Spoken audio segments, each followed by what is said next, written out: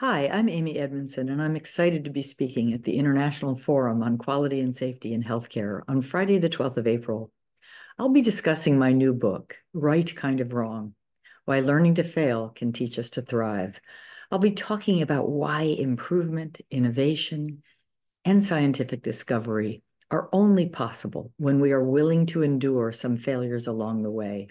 I'll also talk about why the enthusiasm for fast failure can obscure the other less celebrated part of failing well, preventing basic and complex failures in familiar territory. To learn more about this, I hope you will join me at the forum. I look forward to seeing you there.